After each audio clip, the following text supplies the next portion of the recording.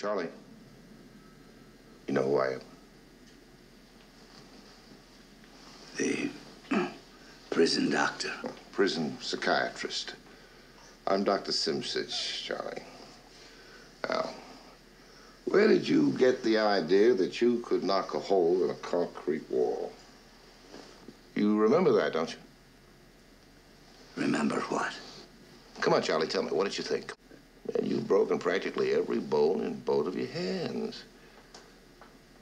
Not exactly a rational act, was it, Charlie?